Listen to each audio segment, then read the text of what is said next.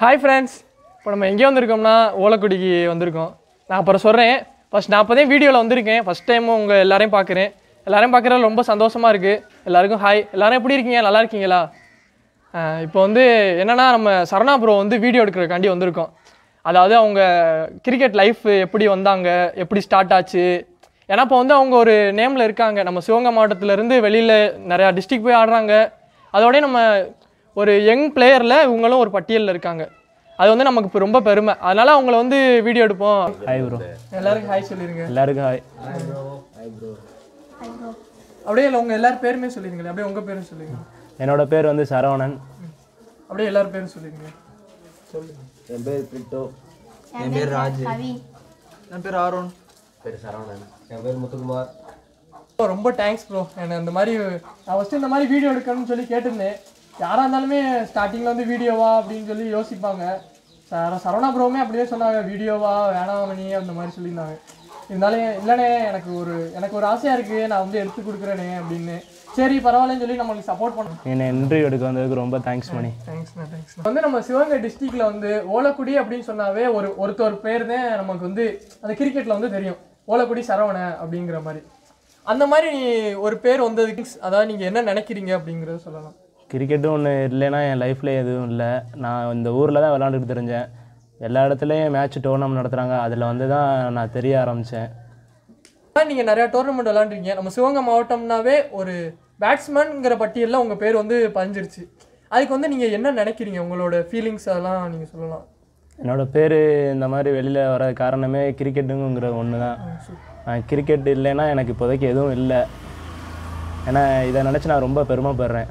இப்போ வந்து உங்களோட ஏஜ் ப்ரோ ஏஜ் வந்து எனக்கு twenty three twenty three super அப்போ வந்து சின்ன வயசுலேருந்தே நீங்கள் கிரிக்கெட்டுக்குள்ள வந்துட்டீங்க.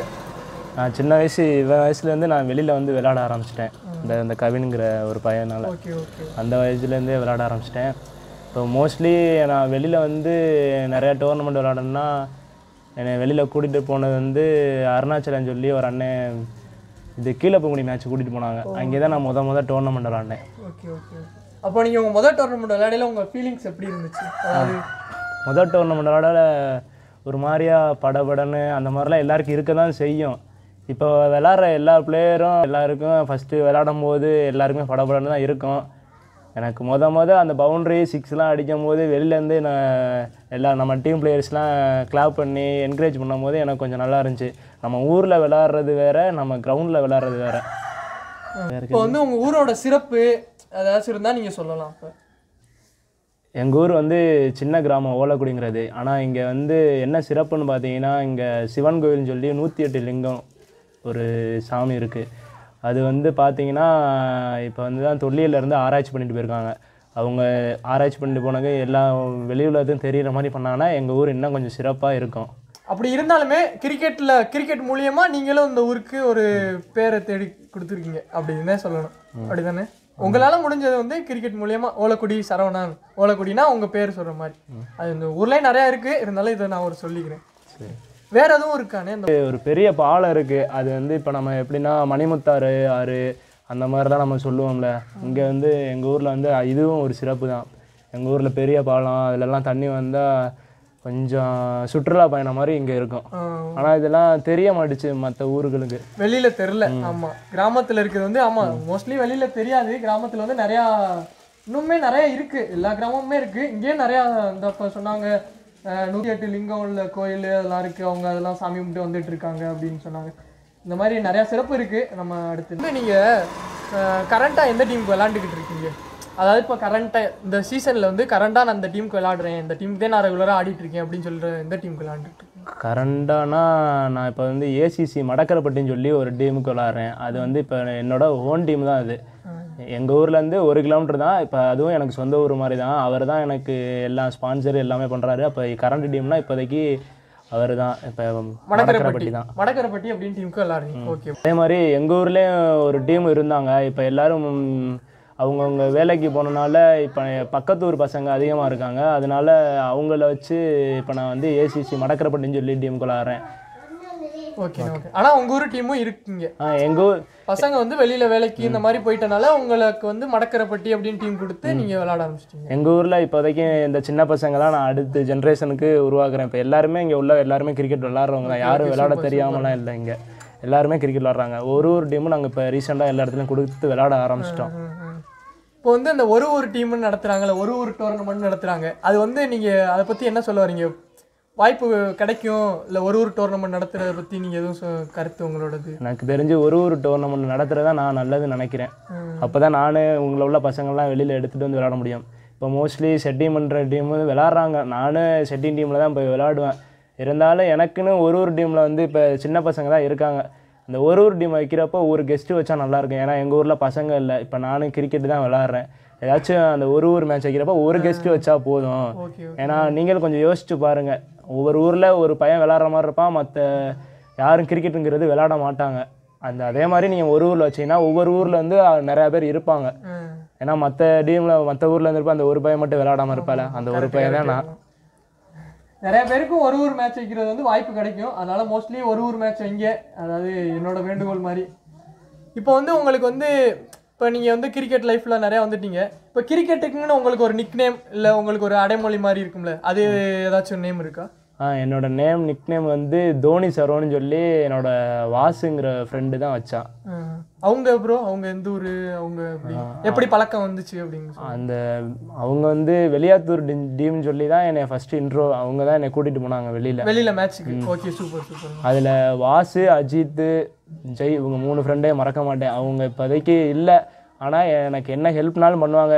இன்னைக்கு நான் ஒழுங்காக விளையாட விளையாடலைன்னா கூட என்னை கால் பண்ணி ஏன்டா இப்படி விளாட்ற நல்லா விளாட்றா அடுத்த மேட்ச்சு மூணு பேருமே கால் பண்ணாத நாளே இல்லை. அவங்கள நான் என்றைக்குமே மறக்க மாட்டேன். Okay super bro super bro நம்ம வந்து கிரிக்கெட் லைஃப்ல வந்து எல்லாருக்குமே இந்த மாதிரி நமக்கு ஒரு பெஸ்ட் ஃப்ரெண்ட் அந்த மாதிரி வரும். அது மாதிரி சரணா ப்ரோக்கும் மூணு பேர் சொல்லியிருக்காங்க. அவங்களுக்கு வந்து ரொம்ப வாழ்த்துக்கள். ஏன்னா அவங்க ஃப்ரெண்ட் அமையறதுங்கிறது வந்து ஒரு பெரிய விஷயம். ஏன்னா ஃப்ரெண்டு அமைஞ்சு நம்ம லைஃப் எப்படி வேணா மாறும். அதனால கிரிக்கெட் லைஃப்ல வந்து அவங்களுக்கு வந்து மூணு பேர் ஃப்ரெண்ட் அமைஞ்சிருக்காங்க. அதனால ரொம்ப சந்தோஷமா இருக்கு. அதாவது இப்போ வந்து மடக்கரப்பட்டின்னு உங்க டீம் சொல்றீங்களா ப்ரோ அது வந்து உங்க டீம் பத்தி சொல்லுங்க. அது எப்படி ஃபார்ம் ஆச்சு? அப்படிங்கிறதையும் நீங்க சொல்லுங்க. ஃபஸ்ட்டு ஸ்டார்டிங்கில் நாங்கள் எல்லா மேட்ச்சும் போவோம். மேட்ச் எல்லாமே லாஸ் ஆக தான் செய்யும். எடுத்தோடனே வின் பண்ணலாம் முடியாது. இப்போ அந்த மடக்கரப்பட்டி டீ டீம்னால எனக்கு நிறையா பெஸ்ட் ஃப்ரெண்டு நிறைய பேர் கிடச்சிருக்காங்க. அதுவும் ஒரு ஓன் டீம் மாதிரி ஆயிடுச்சு. அதோட நேம்லாம் சொல்லவா? பசங்க ரஞ்சித் அருண் அவங்க நிறையா பேர் விளையாடுற பிளேயர்ஸ் அது ஆறு வெள்ளை அவங்க நிறையா பேர் இருக்காங்க. நான் குறிப்பிட்டு சொல்ல வர முடியல எல்லாருமே இருக்காங்க. எனக்கு இன்னும் நிறையா பெஸ்ட் ஃப்ரெண்டு கிடச்சிட்டாங்க. மடக்கரப்பட்டிங்க டீமுக்கு தான் இப்போதைக்கு எனக்கு ஒரு ஓன் டீமாக இருக்குது ஓகேண்ணா சூப்பர் வந்து மடக்கரப்பட்டிங்கிறத வந்து எப்படி ஃபார்ம் பண்ணீங்க? அதாவது தப்புன்னு வந்து யாருமே ஒரு டீம் வந்து உருவாக்கியிருக்க முடியாது. அதுக்கு பின்னாடி எவ்வளோ கஷ்டங்கள் எல்லாமே இருக்கும். அவங்க எப்படி ஃபார்ம் பண்ணாங்கன்னு கேட்போம் நீங்கள் எப்படி இந்த மடக்கரப்பட்டிங்கிற ஒரு டீம் வந்து உருவாக்குனீங்க? ஏன்னா இப்போ வந்து அது வந்து ஒரு கிரிக்கெட்லேயே வந்து மடக்கரப்பட்டிங்கிறது வந்து ஒரு நல்ல நேமில் இருக்குது அந்த டீம் வந்து எப்படி உருவாக்குனாங்கன்னு கேட்போம் இப்போ வந்து நாங்கள் வந்து ரீசெண்டாக எல்லா மேட்சும் லாஸ் தான் ஆயிருக்கோம். ஆனாலும் எங்களுக்கு லாஸ் ஆனாலும் எங்களோட மென்டர் ஜோசப் அண்ணன்னு சொல்லி ஒரு அண்ணன் இருக்காங்க. அவங்க வந்து எல்லா மேட்ச்சுமே நீ அடுத்த மேட்ச் பார்த்துக்கலாம் இந்த மேட்ச் போனால் என்ன? இதனால நீ எதுவும் ஃபீல் பண்ணாத. பசங்களும் சொல்லுவாங்க அடுத்த மேட்ச் பார்த்துக்கலாம்னு. நாங்கள் எல்லா மேட்சும் மோஸ்ட்லி நூறு மேட்ச்சுக்கு ஐம்பது மேட்ச் எழுபது மேட்ச் தோக்க தான் செய்வோம். எங்களுக்கு அதில் ஒரு ரெண்டு மேட்ச் வின் பண்ணாவே போதுமே. எங்களுக்கு அவ்வளோ ஹாப்பினஸ் அதில் தான் கிடைக்கும். நீங்கள் அந்த மடக்கரப்பட்டிங்கிற டீம் வந்து ஒருத்தவங்க ரன் பண்ணுவாங்க ஓனர் அந்த மாதிரி. அவங்கள பற்றி நீங்கள் எதுவும் சொல்ல விரும்புறீங்களா? சொல்லுங்க சொல்லுங்க. ஜோசப் அண்ணே உனக்கு ரொம்ப தேங்க்ஸ் தான் சொல்லணும். நீ இல்லைன்னா நான் இன்னும் வெளில தெரிஞ்சிருக்க மாட்டேன். எனக்குன்னு ஒரு ஓன் டீமு நீ ரொம்ப தேங்க்ஸ்ண்ணே. உங்களோட டேலண்ட் வந்து நீங்கள் எப்போ ரியலைஸ் பண்ணீங்க? அதாவது இப்போ நான் பேட்டிங் ஆடுறீங்க. உங்களோட டேலண்ட் வந்து நமக்கு இவ்வளோ டேலண்ட் இருக்குது அப்படின்னு எப்போ ரியலைஸ் பண்ணீங்க? நான் ஒரு ஒரு டோர்னமெண்ட் விளாடும் போது இழுப்பக்குடி டோர்னமெண்ட் விளாடும் போது தான் எனக்கு தெரிஞ்சு. ஒரு நல்ல டீமை வந்து நானும் ஒரு பையனும் பார்ட்னர்ஷிப் போட்டு அவங்க அப்போதைக்கு அவங்க கரண்ட் டீம் உள்ள டீம் அன்னைக்கு தான் தெரிஞ்சு ஐயோ நம்மளாலே இது முடியுமா? அவங்கள வின் பண்ண. அவங்க எவ்வளோ மேட்ச் விளாண்டுருக்கேன். இவங்கள பார்த்தா நம்ம பயப்படுறது. அந்த மாதிரிலாம் எல்லாருக்குமே இருக்க தான் செய்யும். ஐயோ இப்படிப்பட்ட பிளேயரா அந்த மாதிரிலாம் இருந்துச்சு. ஆனால் அன்னைக்கு அவங்களோட விளாண்டு மேட்ச் வின் பண்ண அப்புறம் தான் எனக்கு தெரிஞ்சு நம்மளாலே ஒரு எல்லாம் நினச்சா முடியும். உங்கள் நம்பிக்கை மட்டும் விட்டுறாதீங்க. மற்ற பிளேயர்ஸுக்கு நான் இதுதான் சொல்லுவேன். ஓகே ப்ரோ சூப்பர் ப்ரோ விளாண்ட டோர்னமெண்ட் ஏன்னா எல்லாருக்குமே ஒரு ஃபஸ்ட்டு ஃபஸ்ட்டு வெளியூரில் போய் விளாண்ட ஒரு டோர்னமெண்ட் வந்து எப்போவுமே மறக்க முடியாத ஒரு டோர்னமெண்ட்டாக இருக்கும். அப்படின்னு நீங்கள் ஃபஸ்ட்டு ஃபஸ்ட்டு போய் வெளியில் விளாண்ட டோர்னமெண்ட் எது? ஃபஸ்ட்டு ஃபஸ்ட்டு வெளியில் விளாண்ட டோர்னமெண்ட்னா கீழே போங்குடின்னு சொல்லி நான் ஃபஸ்ட்டே சொல்லிட்டேன். அருணாச்சல அண்ணன் என்னை கூட்டிகிட்டு போனாங்க. நான் அந்த ஊரில் விளாடுவேன் அந்த அண்ணன் என்னை பார்த்துட்டு வாடா தம்பி நான் உன்னை கூட்டிகிட்டு போகிறேன் ஒரு மேட்ச் கூட்டிகிட்டு போனாங்க. வெளியில் போய் கூட்டிகிட்டு போய் விளாண்ட அப்புறம் தான் தெரிஞ்சு ஒரு டோர்னமெண்ட்னா இப்படி தான் நடக்குமா? நம்ம உள்ளூருக்குள்ளே விளாண்டு ஒன்றும் பண்ண முடியாது. நம்ம வெளியில் விளாண்டோம்னா இன்னும் எல்லாருக்கும் தெரியும்? நான் விளா விளாட்றனால சரி நம்ம மோஸ்ட்லி விளாண்டுட்டு வெளியில் ஏதாச்சும் ட்ரை பண்ணி போயிடலாம் ஆனால் பார்த்தேன் ட்ரை பண்ணி பார்த்தேன். அது நிறையா பாலிடிக்ஸ் இந்த மாதிரிலாம் இருக்குது எல்லாருக்குமே தெரியும். நீங்கள் ட்ரை பண்ணி பாருங்கள் நான் உங்களால் முடியாதுன்னு சொல்லலை. எல்லாம் நினச்சா முடியும். இது விளாண்டதுலே நான் அந்த டோர்னமெண்ட் பிக் டோர்னமெண்ட் பெரிய டோர்னமெண்ட் ஆடி இருக்கேன் அப்படிங்கிற மாதிரி நீங்கள் பெரிய டோர்னமெண்ட் விளாண்ட டோர்னமெண்ட் நீங்கள் பிக் டோர்னமெண்ட்னா நான் நேமத்தாம்பட்டியும் மரமங்கலம் டோர்னமெண்ட்டு நம்ம சரௌண்ட்ஸில் அந்த ஒன் லேக் டோர்னமெண்ட் நல்லா நடத்துவாங்க. அது நான் அது வந்து நல்ல டோர்னமெண்ட்னு சொல்கிறேன் நான். அது நீங்கள் எப்போ விளாண்டீங்க அந்த டோர்னமெண்ட்டை முத முத பிக் டோர்னமெண்ட்னா நான் நேமத்தாம்பட்டி மேட்ச்சுக்கு வந்து குன்றக்குடின்னு சொல்லி ஒரு டீமுக்கு விளையாட போனேன். அவங்க தான் என்னை ஃபஸ்ட்டு ஃபஸ்ட்டு கூட்டிகிட்டு போனாங்க. பெரிய டோர்னமெண்ட்ல குன்றக்குடின்னு டீமுக்கு விளாண்டீங்க. அது கொஞ்சம் எனக்கு இன்னும் எக்ஸ்பென்சிவாக இருந்துச்சு அந்த டோர்னமெண்ட்லாம் பார்க்கும்போது. ஓய் நான் ஆல்ரெடி சொன்னேன் அந்த கீழே பூனி மேட்ச் அதையும் தாண்டி இன்னும் இன்னும் அந்த ஒன் லேக் டோர்னமெண்ட்லாம் இன்னும் ப்ரைஸு அந்த அவார்டு இதெல்லாம் நல்லா கொடுப்பாங்க. அதனால இன்னும் அதோட நம்ம இன்னும் பெரிய மேட்ச்லாம் விளையாடணும். ஓகே எனக்கு அந்த ஒன் லேக் டோர்னமெண்ட் வந்து ஃபர்ஸ்ட் ஃபர்ஸ்ட் நேமத்தாம்பட்டியில பெரிய டோர்னமெண்ட் விளாண்டுருக்கீங்க ஓகே ப்ரோ சூப்பர் ப்ரோ நீங்க கிரிக்கெட் வந்து ஸ்டார்ட் பண்ணிருப்பீங்க? எந்த ஏஜ்ல இருந்து ஸ்டார்ட் பண்ணீங்க உங்க அந்த கிரிக்கெட் லைஃப் அப்படின்ட்டு எனக்கு விவரம் தெரிஞ்சிருந்து நான் கிரிக்கெட் தான் விளாட்றேன் என்னோட ஏஜ் ஸ்டார்டிங் பார்த்தீங்கன்னா நான் பதிமூணு வயசுலேயே கிரிக்கெட் விளாட ஆரம்பிச்சிட்டேன். இப்போ என்னோட ஏஜ் பார்த்தீங்கன்னா டுவெண்ட்டி த்ரீ டுவெண்ட்டி த்ரீ இப்போ கிரிக்கெட்டும் இல்லைன்னா எனக்கு ஒரு லைஃப் அது கொஞ்சம் இல்லாத மாதிரி தான் இப்போ ஓகேண்ணா ஓகேண்ணா ஓகேண்ணா இப்போ வந்து கிரிக்கெட்டுங்கிறது உங்கள் லைஃப்பில் வந்து ஒரு பார்ட்டாக வந்துருச்சு. நீங்கள் அதை பற்றி என்ன நினைக்கிறீங்க? கிரிக்கெட் எனக்கு இன்னொரு லைஃப் பார்த்தீங்கன்னா இங்கே ஓலக்குடியில் எனக்கு எல்லாமே ஹெல்ப் பண்ணுவாங்க இங்கே. இங்கே வந்தேன்னா பசங்க இருப்பாங்க எனக்கு கொஞ்சம் ஹாப்பினஸாக இருக்கும். ஆனால் கிரிக்கெட்டுன்னு ஒன்று இல்லைன்னா அது ஹாப்பினஸ்ஸாக இல்லை இருக்கவே இருக்காது யாருக்கும். இங்கே விளாட்ற எல்லாருக்குமே தெரியும் கிரிக்கெட்டுங்கிறது ஒரு முக்கியமான இது. அதை விட்டு போகவும் முடியாது. ஒரு டயத்தில் எல்லோரும் வேலைக்கு போகிறப்ப அதை கண்டிப்பாக விட்டுட்டு போய் தான் ஆகணும். நிறைய பேருக்கு அந்த மாதிரி வர்றதுனாலதே பாதி பேர் விளையாட முடியாம அப்படியே இது பண்ணிடுறாங்க. நம்ம என்னதான் வேலைக்கு போனாலும் நமக்கு ஹாப்பினஸ் தரது வந்து நமக்கு கிரிக்கெட் தான். உங்களுக்குமே கிரிக்கெட் தான் ஹாப்பினஸ் எல்லாருக்குமே அதே உங்களுக்கும் அது வந்து ஹாப்பினஸ் ஓகேண்ணா சரவணாவுக்கு வந்து வேலையை விட கிரிக்கெட் தான் இம்பார்ட்டன்ட் அவனுக்கு. ஏன்னா அப்படி இருந்தனாலதே இப்போ வந்து இந்த இந்த மாதிரி ஒரு நிலைக்கு வந்திருக்காங்க. எல்லாருக்குமே கஷ்டம் அதெல்லாம் இருக்கும். அதெல்லாம் நம்ம ஓவர் கம் பண்ணி தான் வரணும். அது அப்படி வந்தனாலதான் இப்போ வந்து சரவணாங்கிற ஒரு நேம் வந்து நம்ம எல்லாருக்கும் தெரியுது. இப்போ வந்து ப்ரோ நீங்கள் வந்து பேட்டிங் இப்போ கிரிக்கெட்டில் வந்து உங்களுக்குன்னு ஒரு பொசிஷன் வந்து பேட்டிங் தான் இருக்குது நீங்கள் வந்து இப்போ பேட்டிங் இல்லாமல் எனக்கு வந்து பவுலிங்கோ இல்லை கீப்பிங்கோ ஃபீல்டிங்கோ அந்த மாதிரி பொசிஷனில் இருந்திருக்கலாம். இன்னும் நல்லா ட்ரை பண்ணியிருக்கலாம் ஏன்னா இப்போ பேட்டிங் வந்து நீங்கள் ஸ்ட்ராங்கு அந்த மாதிரி எந்த பொசிஷனில் இருக்கலாம் நீங்கள் நினைக்கிறீங்கன்னு சொல்லுவாங்க எனக்கு வந்து பேட்டிங் பண்ணுறதை விட அந்த கீப்பிங் பண்ணுறப்ப கொஞ்சம் நல்லாயிருக்கும் மற்ற பசங்க பவுலிங் போடும்போது அவங்கள வேரியேஷன்லாம் பார்க்கும்போது இங்கே பால் இந்த சைட்லேருந்து இங்கிட்டு வரும். நம்ம இப்போ உள்ள யங் பசங்க எல்லாருமே பவுலிங் நல்லா போடுறாங்க. அவனா யோசித்து பந்து போட மாட்றாங்க. ஐயோ இவங்க நம்ம நான் பந்தை அடிச்சிருவாங்களோ? ஆனால் அவங்க போடுற மாதிரி இப்போ நான் ஏதாச்சும் போடுறேன்னா நான் ஏதாச்சும் ட்ரை பண்ணி பார்த்துருவேன். நான் சின்ன வயசுலேருந்தே பேட்டிங்கிற ஒன்று மட்டும் எங்கள் பசங்க கற்றுக் கொடுத்துட்டாங்க. பவுலிங்கிறதே எனக்கு சுத்தமாக வராது. இப்போ பார்த்தீங்கன்னா என்னோட இது வந்து கீப்பிங்கு பேட்டிங்கு ஃபீல்டிங் அது மட்டும் நான் மூணு நல்லா பண்ணுவேன். மற்ற பசங்களுக்கு நான் ஒன்று சொல்ல விரும்புகிறேன் அந்த பவுலிங் போடுறப்ப நல்லா நீங்கள் நல்லா கை சுற்றி பந்து போடுறீங்க ஃபாஸ்ட்டு இருக்கு உங்கள்கிட்ட நல்லா யோசிச்சு பந்தை யாரையும் பேட்ஸ்மேனை பார்த்து பயப்படாதீங்க நல்லா பவுலிங் பண்ணுங்கள் ஓகே ஓகே நீங்கள் எவ்வளோ டோர்னமெண்ட் நான் விளாண்டுருப்பீங்க டோர்னமெண்ட்டு பார்த்தீங்கன்னா ஒரு முந்நூற்றி ஐம்பது நானூறு விளாண்டுருப்பேன் அதில் வின் பண்ண மேட்ச் பார்த்தீங்கன்னா ஒரு டூ ஃபிஃப்டி மேட்ச் வின் பண்ணியிருப்பேன் சூப்பர்ண்ணா சூப்பர்ண்ணா டூ ஃபிஃப்டி மேட்ச்சுக்கிட்ட வின் பண்ணியிருக்காங்க. நிறையா டோர்னமெண்ட் விளாண்டுருக்காங்க அதாவது நிறையா டோர்னமெண்ட் விளாட்றங்கிறது சாதாரண விஷயம் இல்லை. ஏன்னா நிறையா இப்போ எல்லாமே பக்கத்து பக்கத்தில் நடக்காது. ஒரு ஒரு ஊருக்கு போனோம் ஒரு ஒரு டோர்னமெண்ட் போனாலுமே சாப்பாடு எங்கேயும் சரியாக இருக்காது. அதெல்லாம் நம்ம வந்து அட்ஜஸ்ட் பண்ணி நிறைய டோர்னமெண்ட் விளாண்டுருக்காங்க உண்மையிலே பெரிய விஷயம் அது வந்து. அப்படி நிறைய டோர்னமெண்ட் போகிறீங்க போயிட்டு அங்கே வந்து சாப்பாட்டுக்கு எல்லாமே கொஞ்சம் சிரமமாக இருக்கும். நீங்கள் அதெல்லாம் எப்படி மேனேஜ் பண்ணுறீங்க அந்த டோர்னமெண்ட்டில் இப்போ போகிறீங்க அங்கே என்ன அங்கே ஏதாவது அங்கே சாப்பாடு தந்துடுவாங்களா இல்லை எப்படி மேனேஜ் பண்ணுறீங்க அப்படிங்கிறது இப்போ ஒன் இயருக்கு முன்னாடி பார்த்தீங்கன்னா எந்த டோர்னமெண்ட்டு சாப்பாடு அந்த மாதிரிலாம் போட மாட்டாங்க. வந்து மேட்ச் மட்டும் விளாண்டு போகிற மாதிரி இருக்கும். இப்போ ஒரு வருஷமாக பார்த்தீங்கன்னா எல்லா டோர்னமெண்ட்டுமே அந்த ஃபுட்டுங்கிறது அரேஞ்ச் பண்ணிடுறாங்க பிளேயர்ஸ்க்கு இப்போ நடத்துகிற டோர்னமெண்ட்டு எல்லா ஊருக்கும் நான் நன்றி தான் சொல்லுவேன்.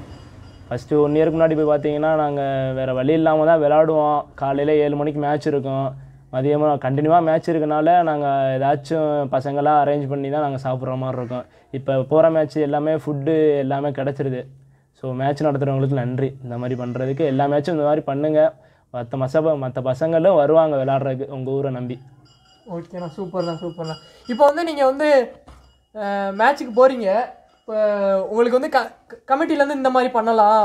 இந்த ஏன்னா நம்ம நிறைய மேட்ச் நீங்கள் டோர்னமெண்ட் போயிருக்கீங்க. இப்படிலாம் இருந்தால் நல்லா இருந்திருக்கும். ஏன்னா ஒரு பார்த்தீங்கன்னா ஒவ்வொரு சின்ன பசங்க வந்து விளாடுவாங்க எல்லா டோர்னமெண்ட்டும் அவங்கள வந்து பார்த்தீங்கன்னா நிறையா மோஸ்ட்லி நிறையா மேட்ச் விளாண்டவங்க வந்து நல்லா ஃப்ரீடமாக விளாடுவாங்க எனக்கு தெரிஞ்சு அந்த யங்ஸ் ஆல்ரெடி ஒரு மேட்ச் விளாண்டவங்க பெரிய பிளேயர்லாம் இருப்பாங்க.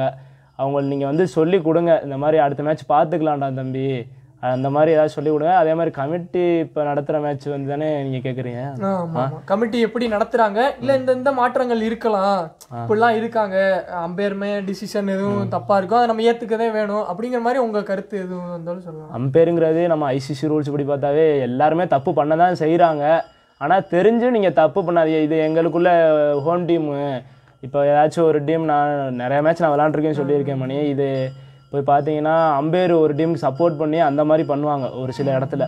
அந்த மாதிரி மட்டும் பண்ணாதீங்க. எல்லாருக்கும் பொதுவாக இருங்க. ஆனால் நான் போன விளாண்ட மேட்ச்சில் அம்பேர் எல்லாருமே பொதுவாக தான் இருந்திருக்காங்க. என்னோடய ரெக்வஸ்ட் பார்த்தீங்கன்னா இது எனக்கு தெரிஞ்ச டீமு ஒய்டு கொடுக்குற பாலுக்கு ஒய்டு கொடுக்க மாட்டாங்க. இப்போ நோ பாலு அந்த மாதிரி உங்கள் டீம் தெரிஞ்சு சொல்லி வந்து அம்பேர் நின்று அந்த மாதிரி நான் நிறையா மேட்ச் பார்த்துட்டேன். எனக்கு தெரிஞ்சு அந்த மாதிரி மட்டும் பண்ணாதீங்க. ஏன்னா மே அடுத்த மேட்ச் விளாட்றதுக்கு உங்கள் ஊருக்கு வர நாங்கள் கொஞ்சம் ஒரு மாதிரி யோசிப்போம். இப்போ நான் இப்போ ரீசெண்டாக நேற்று ஒரு மேட்ச்சுக்கு போனேன். அதில் அந்த மாதிரி நடந்துச்சு. அதனால தான் இப்போ அதை சொல்ல தோணுது.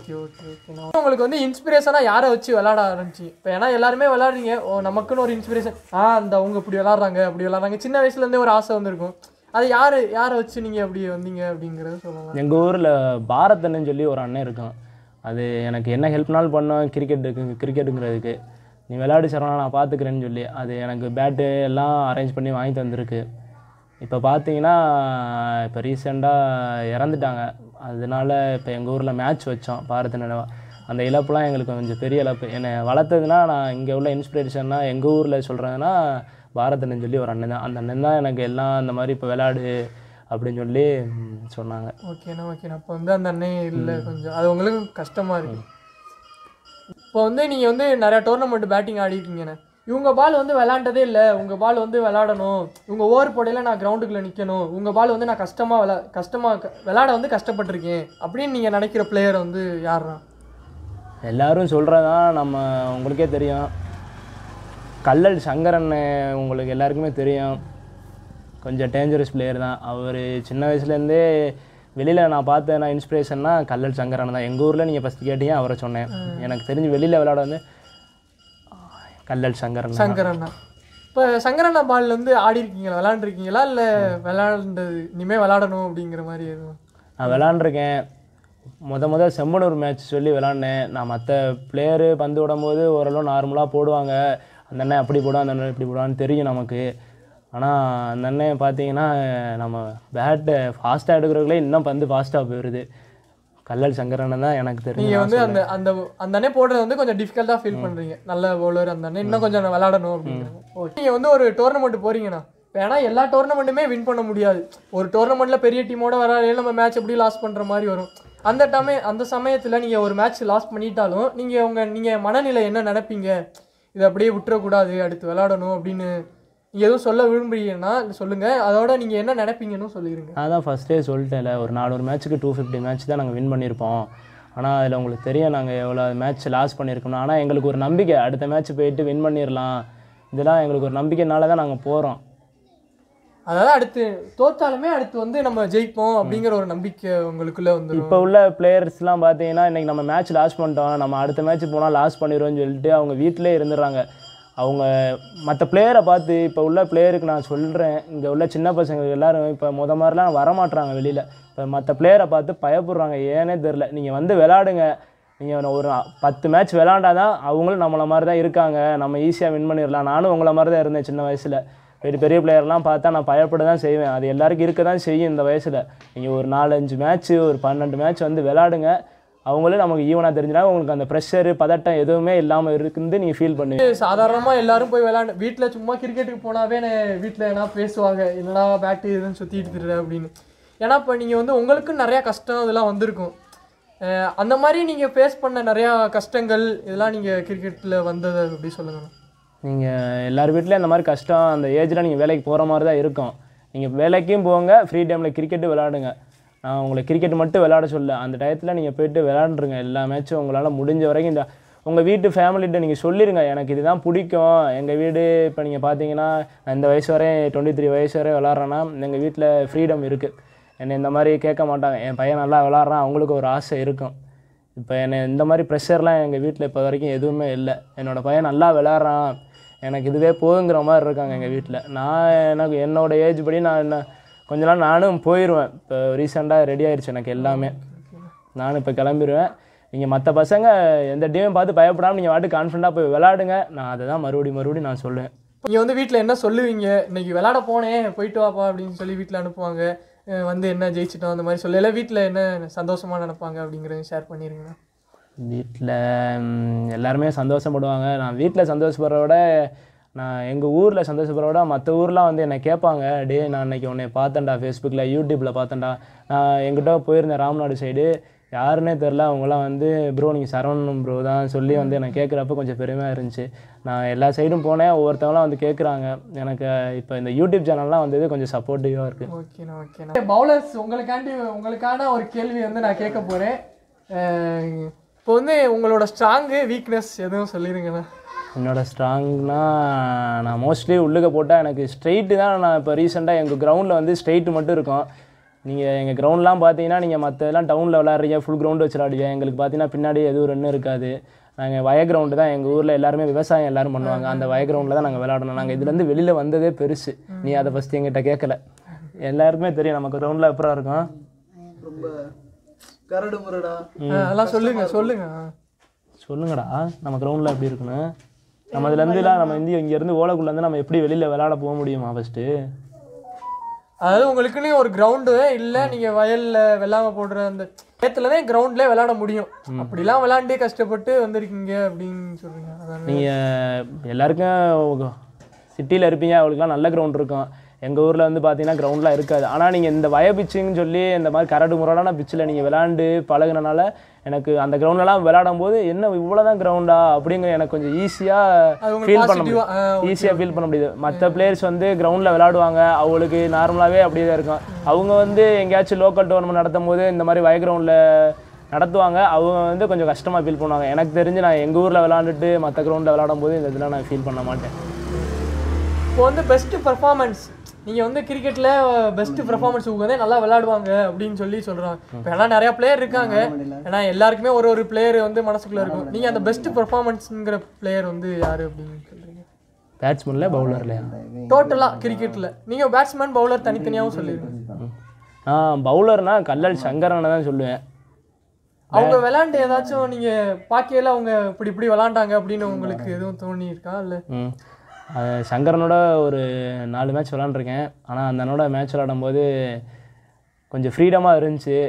தம்பி இப்படி பண்ணுறா அவங்க எப்போவுமே சைலண்ட்டாக இருப்பாங்க. வந்து சொல்லுவார் அண்ணன்ட்ட வந்து தம்பி அன்னைக்கெலாம் எனக்கு தனியாக மெசேஜ் பண்ணாங்க. தம்பி நீ அன்னைக்கு நல்லா விளாண்டடா. ஆனால் உன்னோட உடம்பு பாடி வீக்னஸில் போட்டால் ஒரு மாதிரியா விளாட்றடா. நீ அதை அப்படி மாற்றிக்க ஒரு சில பவுலர்லாம் என்கிட்ட சொல்ல மாட்டாங்க. இந்த இந்த லைனில் போட்டால் நீ விளாட மாட்டேன் ஏன்னா நெக்ஸ்ட் மேட்ச் வந்து அதே தான் என்னை நானும் அந்த அண்ணன் ஆனால் என்கிட்ட சொன்னாங்க. பேட்ஸ்மேன்லாம் பார்த்தீங்கன்னா பொன்னமராஜிலேருந்து கதிர்னு சொல்லி உனக்கு தெரியும். லெஃப்ட் ஹேண்ட் பேட்ஸ்மேன் ஓகே ஓகேண்ணா மோஸ்ட்லி எல்லா மேட்சுமே நூறு மேட்ச் விளாட்றான்னா அதில் எண்பது மேட்ச்சு வேற ப்ரூஃப் பண்ணிடுவாங்க அவன் எல்லா மேட்சுமே கரெக்டாக பால் எப்படி ஆடணும் அப்படி ஆடணும் எல்லா பாலுமே ரெண்டு ரன் ஆடுறது நம்ம கொஞ்சம் கஷ்டம் தான் ஆனால் அந்த கதிருங்கிறவன் எல்லா பாலுமே ரெண்டு ரெண்டாக விளாண்டு ஈஸியாக ரன் பண்ணுவான். நம்ம வந்து இப்போ ரெண்டு ரன் அடிக்கிறோம். அதுக்கடுத்த வந்து ஐயோ நம்ம ஸ்கோர் கம்மியாக இருக்குது நம்ம அடுத்த பால் பவுண்டரி அடிக்கணும்னு சொல்லி நம்ம விக்கெட் கொடுத்துருவோம். ஆனால் அவன் மைண்டு கரெக்டாக வச்சு ரெண்டு ரெண்டாக தள்ளிக்கிட்டே இருப்பான். பெரிய ஷாட்டுங்கிறதே நான் விளையாடவே மாட்டான் கதிருங்கிறவன் இப்போ நீங்கள் கதிர் கதிர் ப்ரோவை பற்றி சொல்கிறீங்க நீங்கள் அந்த மாதிரி இப்போ பெரிய ஷாட்டோ இல்லை டிப் அதாவது டாட் விட்டா இல்லை அந்த மாதிரி மைண்ட் செட்டில் நீங்கள் என்னென்ன நினைப்பீங்க? அடுத்து டிஃபென்ஸ் போயிடுமா இல்லை நீங்கள் உங்களோட பேட்டிங் ஆடையில் உங்களோட மனநிலை எப்படி இருக்கும் அப்படின்னு? நீங்கள் ஃபஸ்ட்டு மூணு பால் டாட் விட்டாலும் மைண்டை விடாதீங்க. நானும் உங்களோட இதை சொல்லிடுங்க நான் ஃபஸ்ட்டு மூணு பால் டாட் விடுவேன். அதுவே எனக்கு கொஞ்சம் டிப்ரெஷன் ஆகும். ஆனால் அடுத்த பால் நீங்கள் சிங்கிள் அடிக்கிறனால ஒரு தப்பு இல்லை. அடுத்த ஓவர் ஃபேஸ் பண்ணி ஆடிக்கலாம். இந்த ஒரு ஓவர் போகிறனால ஒன்றும் இல்லை. அடுத்த ஓவர் எப்படி நியூ பவுலர் தான் வருவாங்க நீங்கள் அடுத்த ஓவருக்கு ஓரளவு ஸ்கோர் ஆடிட்டினாவே ரெண்டு ஓவருக்குள்ளே ஸ்கோர் வந்துடும் நீங்கள் இந்த ஓவர்லேயே அடிக்கணும்னு நினச்சிங்கன்னா நீங்கள் விக்கெட்டை தான் விடுவீங்க. நீங்க அந்த மாதிரி அந்த மாதிரி தான் யோசிப்பீங்க கிரவுண்ட்ல இருந்துட்டு. இது வந்து பேட்ஸ்மேன் எல்லாருக்குமே உங்களுக்கு ஒரு ப்ளஸ்ஸான ஒரு பாசிட்டிவான கிரிக்கெட் விளாட்ற எல்லாருக்கும் நீங்கள் என்ன சொல்ல விரும்புகிறீங்களோ சொல்லுங்கள் கிரிக்கெட் விளாட்ற எல்லாருக்கும் இப்போ உங்கள் ஊர் பசங்க இருப்பாங்க சின்ன பசங்களாம். தயவு செஞ்சு அந்த ஊர் பசங்கள்லாம் சின்ன பசங்களுக்கு மொபைல் விளாட்ற பசங்களாம் தயவு செஞ்சு கிரிக்கெட் விளாட கூட்டிகிட்டு போவாங்க இப்போ எல்லாருமே அந்த கேமுங்கிறதுல அடிக்ட் ஆகிட்டாங்க அந்த பாடியிலே கொஞ்சம் எல்லாருமே வீக்னஸ் ஆயிடுறாங்க. ஒரு காலகட்டத்தில் அவங்களுக்கு பார்வை குறைபாடு இப்போ வருது நான் கேள்விப்பட்டேன். எல்லாருமே அந்த சின்ன பசங்களை விளாட கூட்டிகிட்டு போவாங்க அவங்க பாடி கொஞ்சம் கரெக்டாக இருக்கும். ஏன்னா அவங்க இப்போ யாருமே எனக்கு தெரிஞ்ச இப்போ சின்னவங்க யாருமே விளையாடவே வரமாட்றாங்க மணி. பார்த்துக்கிட்டு தானே இருக்கேன் எங்கள் எங்கள் ஜென்ரேஷனோட கிரிக்கெட்டுங்கிறது அந்த ஸ்போர்ட்ஸு எல்லாமே முடிய போகிற மாதிரி நான் ஃபீல் பண்ணுறேன் யாருமே விளாட வர மாட்றாங்க ஃபோனுங்கிறது வந்துடுச்சு. ஃபோனுங்கிறது எல்லாருக்கும் இருக்க தான் வேணும். ஆனால் எல்லாருமே அதில் அடிக்ட் ஆகாதீங்க. அதுதான் நான் சொல்லுவேன். ஸ்போர்ட்ஸில் போய் கொஞ்சம் கலந்து கொஞ்சம் உங்களை இம்ப்ரூவ்மெண்ட் பண்ணிக்கோங்க. உங்க கூட பே இப்போ வந்து நீங்க வந்து பேட்டிங் நிறைய டோர்னமெண்ட் நீங்க உங்களுக்குன்னு ஒரு பார்ட்னர் இருப்பாங்க. அதாவது பேட்டிங்ல வந்து நம்ம பார்ட்னர் நம்ம ரெண்டு சேர்ந்து விளையாடுவோம் அப்படிங்கிற மாதிரி உங்க பார்ட்னர் யாருன்னு சொல்லுவீங்க? என்னோட பார்ட்னர்னு பார்த்தீங்கன்னா முதல்ல வாசுன்னு சொல்லி என் ஃப்ரெண்டு தான் சொன்னேன். நாங்கள் மூணு பேர் வாசு அஜித் ஜெய் நாங்கள் நாலு பேர் விளாடுவோம் இப்போதைக்கு அந்த மடக்கரப்பட்டு டீமில் வந்து பார்த்தீங்கன்னா நாங்கள் முகேஷ் அவங்க ரெண்டு பேர் தான் விளாடுவோம் இப்போ நீங்கள் ரெண்டு பேரும் பேட்டிங் போனால் ஒரு பார்ட்னர் மாதிரி நம்ம மேட்ச் முடிச்சு கொடுத்துட்டு வரணும் அப்படிங்கிற மாதிரி. ஓகே ஓகே ஓகே நிறைய மேட்ச் விளாண்டுறீங்க இது- விளாண்ட மேட்ச்சில் நான் ஹையஸ்ட் ஸ்கோர் இவ்வளோதான் இவ்வளோ அடிச்சிருக்கேன் ஹையஸ்ட் ஸ்கோர் அப்படின்னு நீங்கள் டார்கெட் எல்லாருக்குமே ஒரு கட்டத்தில் ஹையஸ்ட் ஸ்கோர் இவ்வளோதான் அப்படின்னு செட் செட் ஆயிருக்கும். செட் பண்ணியிருப்பீங்க அந்த ஹையஸ்ட் ஸ்கோர் வந்து நீங்கள் எவ்வளோ செட் அடிச்சிருக்கீங்க? அந்த சேஸ் ஒரு மேட்ச் ஒரு சேஸ் பண்ணதா? சேஸ் பண்ணது இப்போ ரீசெண்டாக அங்கே ஒரு டோர்னமெண்ட் நடந்துச்சு. கீழே கொங்கம்பட்டின்னு சொல்லி ஒரு டோர்னமெண்ட்டு அங்கே ஆப்போனட் டீம் பார்த்தீங்கன்னா ரெண்டு ஓவருக்கு தேர்ட்டி டூ அடிச்சிட்டாங்க. ரெண்டு ஓவருக்கு சேஸ் பண்ணுறதே கொஞ்சம் கஷ்டம்தான். ஆனால் இங்கே உள்ள பிச்சும் கொஞ்சம் மோசமாக தான் இருந்துச்சு. நாங்கள் அந்த ரெண்டு ஓவருக்கு அடித்து சேஸ் பண்ணிட்டோம். எங்களுக்கு அது கொஞ்சம் பெரிய விஷயமா தான் இருந்துச்சு. அதுவும் தேர்ட் ரவுண்டு ஜெயிச்சாதான் அந்த செமிங்கிற உள்ளதுக்குள்ளே போக முடியும். அப்படிங்கல நீங்கள் உள்ள நிற்கல நீங்கள் அடிச்சு கொடுத்து மேட்சை வின் பண்ண நான் அந்த மேட்ச்சை அடிச்சு கொடுத்து நான் வின் பண்ணிட்டேன். அந்த டோர்னமெண்ட் எல்லா டோர்னமெண்ட்டுமே அஞ்சு மேட்ச்சுமே நல்லா அன்னைக்கு பெர்ஃபார்மன்ஸ் பண்ணேன் ஓகே ஓகே ஓகே. சூப்பர்ண்ணா சூப்பர்ண்ணா இப்போ வந்து இந்த ஃபிஃப்டிஸ் ஹண்ட்ரட்ஸ் அந்த மாதிரில நீங்கள் உங்களோட டார்கெட் நீங்கள் ரீச் பண்ணது. சடையம்பட்டி மேட்ச்சில் வந்து நான் ஒரு ஃபஸ்ட் டைம் நடக்கும்போது செவன்ட்டி டூ நானே ஒன் மேன் அடித்தேன் அதில் not out batsman six over தான். ஆறு ஓவர் என்னோட பெரிய டார்கெட்னா அந்த அன்னைக்கு விளாண்டதுனா சடையம்பட்டியில். இப்போ நீங்கள் வந்து இவ்வளோ டோர்னமெண்ட் விளாண்டுருக்கீங்க உங்களுக்கு ஃபஸ்ட்டு ஃபஸ்ட்டு நீங்கள் வாங்கின அவார்டு அதாவது பேட்ஸ்மேனுக்கோ இல்லை கிரிக்கெட்டில் விளாண்டதுக்கு நீங்கள் ஃபஸ்ட்டு ஃபஸ்ட்டு வாங்கின அவார்டு எதுன்னு சொல்லிடுங்க ஃபஸ்ட்டு ஃபஸ்ட்டு வாங்கின அவார்டு இதில் மேலே ஒன்று இருக்குது அடைக்கலன்னு சொல்லி கன்றமணித்தில் ஒரு மேட்ச் நடத்துனாங்க. அவங்க கொடுக்கும் போது தான் மொத மொதல் வாங்கினேன். அதாவது எது எதுக்குண்ணே வாங்கினீங்க? பேட்டிங்க்கா இல்லை batsman award batsman award first first வாங்குனீங்க. சூப்பர்ண்ணா சூப்பர்ண்ணா நாங்கள இருந்தாலும் நீங்கள் ஒரு ஆளாக எப்படியும் போக முடியாது. யாராச்சும் உங்கள் கூட ஒருத்தவங்க வரணும். அப்படிங்கல கிரிக்கெட்லே நீங்கள் நான் ரெண்டு பேர் அப்படிங்கிற போகிற உங்கள் உங்கள் கூட எப்போவுமே கிரிக்கெட்னா நீங்கள் ரெண்டு பேரும் தான் அப்படிங்கிற மாதிரி உங்கள் உங்களுக்குள்ள யார் இருக்கா? அது பார்த்தீங்கன்னா இப்போ என்னோட இப்போ ஒரு ரெண்டு வருஷமாக பார்த்தீங்கன்னா நான் கால் பண்ணுற ஒரே ஆள் இந்த மாதிரி மேட்ச்சுக்கு நாங்கள் ரெண்டு பேர் போகிறது மட்டும்தான் அண்ணா நகர்லன்னு சொல்லி பாண்டின்னு சொல்லி ஒரு பவுலர் இருப்பா அவங்களுக்கு தெரியும். அங்கே அந்த பவுல் அவர் நல்லா போடுவார். எனக்கு மோஸ்ட்லி நானும் அவர் தான் இப்போ ரெண்டு வருஷமாக மேட்ச்சுக்கு போகிறோம் போன டோர்னமெண்ட்டு மோஸ்ட்லி வின் பண்ணிடுவோம் ஒன்று நான் பேட்டிங் சொதப்பினால அவர் பந்து போட்டு வந்துடுவார் ஓகே ப்ரோ ஓகே ப்ரோ அதனால பாண்டி ப்ரோ வந்து நீங்களும் நிறைய டோர்னமெண்ட் அப்படியே சேர்ந்து போவீங்க. ஓகே ஓகே இப்போ நீங்கள் நம்ம டிஸ்ட்ரிக்டை விட்டுட்டு வெளியில் எந்தெந்த டிஸ்ட்ரிக்ட் ஆடி இருக்கீங்க ப்ரோ நம்ம டி- புதுக்கோட்டை டிஸ்ட்ரிக்கு ராம்நாடு அப்புறம் மதுரை டிஸ்ட்ரிக்கு போய் விளாண்டுருக்கேன் ப்ரோ அப்படி வெளியில் போய் விளையாடையில உங்களோட அந்த மனநிலையெல்லாம் எப்படி இருக்கும்? என்ன ஃபீல் பண்ணுவீங்க? எப்படி இருக்கும்? டிஃப்ரெண்ட்டாக என்னென்ன நீங்கள் போய் கற்றுக்கிட்டீங்க அப்படி ஒரு சில டிஸ்ட்ரிக் பார்த்தீங்கன்னா இப்போ நம்ம இங்கே உள்ள பசங்க தான் நான் ஃபஸ்ட்டே வெளியில் எங்கேயுமே போய் விளாட மாட்டான்னு சொல்கிறேன் இல்லை நீங்கள் போய் வெளியில் போய் விளாடுங்க நீங்கள் போய் பாருங்கள் உங்களை விட அங்கே என்ன அவங்க கம்மியாக தான் விளாடுவாங்க அப்போ ஐயோ உங்கள் அப்படிப்பட்ட பிளேயராக அப்படிலாம் நினைக்காதீங்க. நீங்கள் போய் அதர் டிஸ்ட்ரிக்டில் போய் விளாடுங்க அங்கே போய் பாருங்கள் உங்கள் நம்ம இவ்வளவு விளாண்டுறதுக்கு ஐயோ இவங்க கம்மியாக விளாட்றாங்க நீங்கள் அப்படி ஃபீல் பண்ணுவீங்க. நீங்கள் அதர் டிஸ்ட்ரிக் போங்க. எல்லாருமே நல்லா விளாடுங்க ஓகே அதே சொல்கிறீங்க ஓகேண்ணா ஓகேண்ணா சூப்பர்ண்ணா. டோர்னமெண்ட் போய் விளாடுறீங்க வெளி டீமுக்கும் விளாடுறீங்க நீங்கள் மடக்கரப்பட்டியும் கொடுத்து விளாடுறீங்க அதில் வின் பண்ணுற ட்ராஃபி எல்லாம் நீங்கள் எங்கே வச்சுருக்கீங்க? வின் பண்ணுற ட்ராஃபினா இது வந்து எங்கள் ஊரில் இருந்தால் கொஞ்சம் எனக்கு இண்டிவிஜுவலாக கொடுத்ததே இங்கே மேலே நான் தனியாக இருக்கும். நான் வீட்டில் மோஸ்ட்லி வச்சுக்க மாட்டேன். அங்கே மடக்கரப்பட்டி ஹோம் டீம் சொன்னேன்ல அங்கே வந்து எல்லாம் இருக்குது அங்கே எல்லாம் கொடுத்துருவீங்க உங்கள்கிட்ட ஓகே ஓகே நான் வீட்டில் மோஸ்ட்லி இண்டிவிஜுவலாக உள்ள கப்லாம் நான் வச்சுக்க மாட்டேன். நான் மற்ற பசங்களுக்கு கொடுத்துறேன் வச்சுக்கோங்க.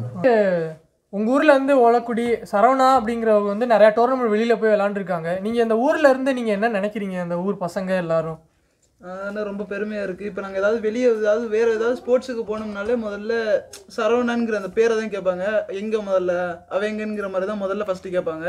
ஃபஸ்ட் எங்களுக்கு நாங்கள் போனால் கூட முதல்ல இந்த என்னென்ன கொஞ்சம் இம்பார்ட்டன்ஸ் கொடுத்து பேசுகிறது கொஞ்சம் பெருமையாக இருக்கும். அப்புறம் நெக்ஸ்ட்டு வந்து இது கொஞ்சம் நல்ல ரீச் ஆகிருக்கு ரீச் ஆகிட்டு இது உங்களுக்கே தெரிஞ்சு நீங்களே வீடியோ எடுக்க வந்திருக்கீங்கன்னா அப்போ வந்து அதோட புகழ் வந்து நல்லா ரீச் ஆகிருக்கு அது வந்து எங்களுக்கு கொஞ்சம் பெருமையாக இருக்குண்ணா ஓகே ஓகே ஓகே மேலும் மேலும் நிறையா விளாண்டு நிறையா கொஞ்சம் பெருமையை தேடி கொடுத்துச்சுன்னா ஊருக்கும் நல்லா இருக்கும் okay bro okay bro bro இப்போ வந்து நம்ம சேனலை பற்றி நான் இப்போதே ஸ்டார்ட் பண்ணியிருக்கேன். எனக்குமே பெருசாலாம் அனுபவம்லாம் இல்லை. ஃபஸ்ட் இப்போ ஓரளவு நம்ம சிவகங்கையில் சுற்றி வட்டுற சுற்றி எல்லா டோர்னமெண்ட்டுமே கவர் பண்ணேன். இப்போ வந்து நம்ம பிளேயர் இன்னும் கொஞ்சம் வெளியில் கொண்டாடுவோம். நம்ம சிவகங்கை மாவட்டத்தில் வந்து நிறையா பிளேயர் இருக்காங்க. நிறையா ஒரு ஒரு டீம்லாம் இருக்குது சின்ன சின்ன பசங்களாம் நிறையா விளாட்றாங்க அந்த மாதிரி நம்ம பிளேயரை வெளியில் கொண்டாடுவோம் அப்படிங்கல நான் முதல்ல வந்து சரவணா ப்ரோ வந்து சின்ன வயசில் வந்து நிறையா டோர்னமெண்ட் விளாண்டுருக்காங்க ஏன்னா நான் எனக்கே தெரியும் நான் விளையாடையிலலாம் பார்ப்பேன். நல்லா விளாடுவாங்க நம்ம சரணா ப்ரோ வந்து ஃபஸ்ட்டு ஃபஸ்ட்டு நான் இப்போ வந்து இந்த இன்ட்ரோ வீடியோவில் வந்து சரணா ப்ரோ தான் எடுக்கிறேன். நம்ம சேனலை பற்றி நீங்கள் என்ன நினைக்கிறீங்க? நீங்கள் சொல்லிடலாம்.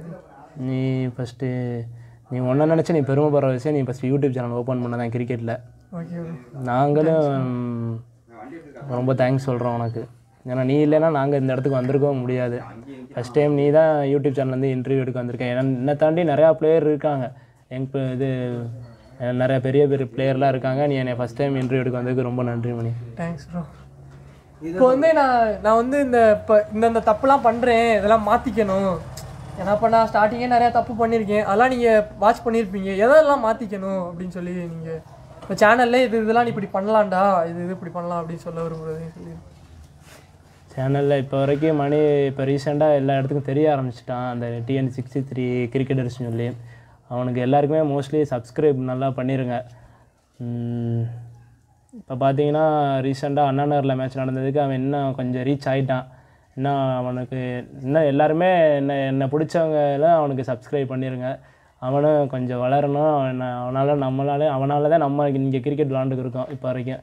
இப்போ தெரிகிறனால அந்த யூடியூப் சேனலில் தான் நம்ம மற்ற பிளேயருக்கு நமக்கு தெரிகிறோம் இங்கே நம்ம வெளியில் எங்கள் பசங்க யார் போனாலும் ஓலக்குடி சொன்னாவே எங்கள் பசங்க சரணானண்ணான்னு சொல்லி கேட்குறாங்க இவங்க. எனக்கு கொஞ்சம் பெருமையாக இருக்குது இவனும் கொஞ்சம் சப்ஸ்கிரைப் பண்ணிடுங்க மணிக்கு. சார் இன்டர்வியூ இந்த வாய்ப்பை கொடுத்ததுக்கு ரொம்ப நன்றி ப்ரோ ஏன்னா ஃபஸ்ட்டு ஃபஸ்ட்டு பண்ணுறேன் நான் கேட்டதுக்கு வந்து ஃபஸ்ட்டு ஸ்டார்டிங்கில் வேணாம் அப்படின்னு சொல்லி சொல்லியிருந்தாங்க. அதுக்கடுத்து நான் ஆசைப்பட்டு கேட்டனால சரி அவங்க சரி மணி பரவாயில்ல வந்து எடு அப்படின்ட்டு. ஏன்னா சில பேர்லாம் வேணாம்.